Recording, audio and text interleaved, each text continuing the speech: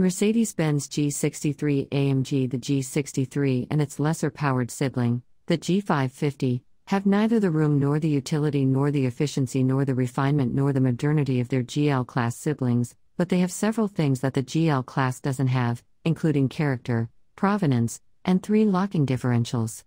If you've got the dough and the desire, I say, indulge yourself, but you might also want something a little more anodyne in your garage for driving excursions that require a bit more subtlety.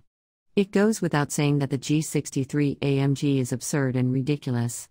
I fully respect the audacity of taking performance parts and leather trimmings from the best Mercedes Benz cars and fitting them into a vehicle which has so much in common with a Jeep Wrangler.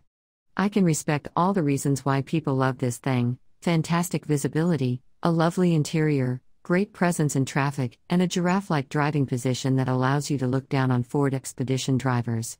Yet, despite my grudging admiration, I cannot endorse the G63 AMG as a sensible vehicle. Yes, you have three locking differentials, low range, and 8 inches of ground clearance, but you can't go off roading with shiny, expensive, and vulnerable 20 inch wheels. Yes, the 544 horsepower engine makes for ferocious acceleration and a trumpeting exhaust note, but the wandering, tramlining, big steering saps confidence to drive quickly. Yes, the interior is resplendent in wood, chrome, and leather, but it's neither as glamorous nor as cosseting as the GL class. And how gauche does it look to drive a $137,505 SUV that gets abysmal mileage, our car's trip computer reported 10.2 miles per gallon in an era of austerity, recession, and climate change. It's ridiculous and, in many practical respects, not very good. It's also completely unnecessary. No one needs this much off road capability, this much power, and this much luxury. That's the point, of course. The G Wagon's swagger, muscle, and Teutonic toughness lend credibility to far more pedestrian models like the GLK class. This halo effect will only grow more important as the brand looks to expand into cheaper models like the upcoming GLA.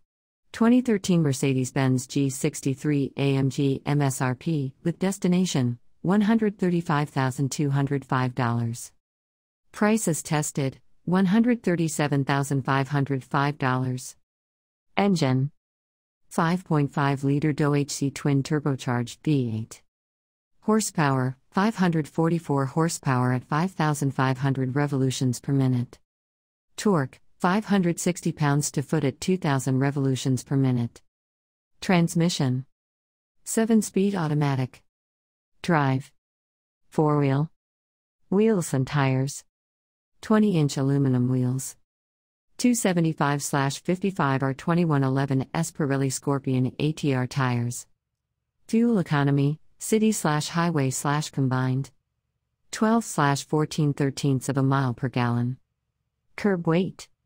5622 pounds. Capacities. Doors slash passengers 4 fifths.